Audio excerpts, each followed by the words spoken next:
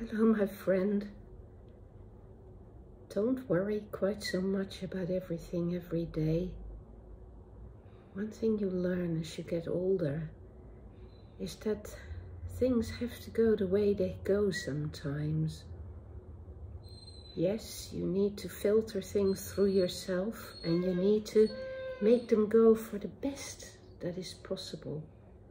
But beyond that, there is a moment where you have to learn to go with the flow and to know that there will be tides in your life. Sometimes things will be up and sometimes things will be down. You can't win them all and you won't lose them all either.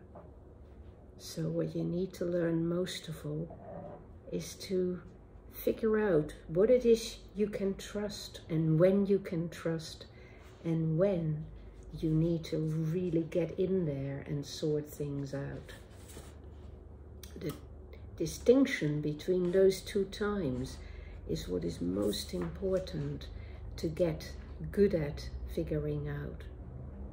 So I hope you can make a start with that and I hope you know when you can trust and when you just need to allow time to be your friend and make everything that you want to happen happen slowly and gradually rather than having it happen all at once.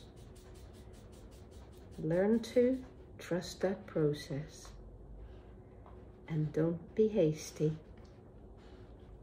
But when there are times when you need to make a difference to the situation, make sure you do that too.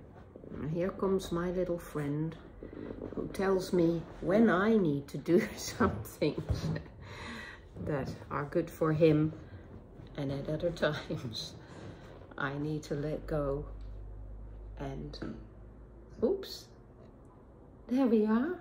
Say hello. Say hello. There you are my friend you see? And that's how life goes we go? Stop. Goodbye my friend. Have a sense of humor in your life and have a bit of fun with it all. Too.